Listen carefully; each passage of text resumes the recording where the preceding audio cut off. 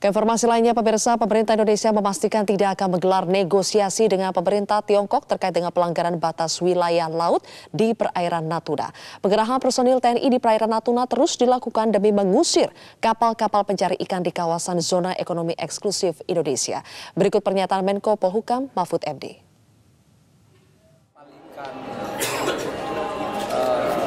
RRJ yang dikawal oleh kapal resmi pemerintah di Natuna. Prinsipnya begini, Indonesia tidak akan melakukan negosiasi dengan China. Karena kalau negosiasi berarti masalah bilateral dan ada konflik tentang perairan ini.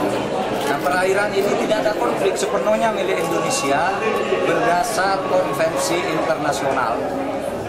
UNCLOS tahun 1982 menyatakan bahwa Natuna itu dengan sekarang yang batasnya dilanggar adalah merupakan zona ekonomi eksklusif Indonesia berdasar keputusan UNCLOS tahun 1982. UNCLOS itu hukum laut internasional yang dibuat oleh PBB.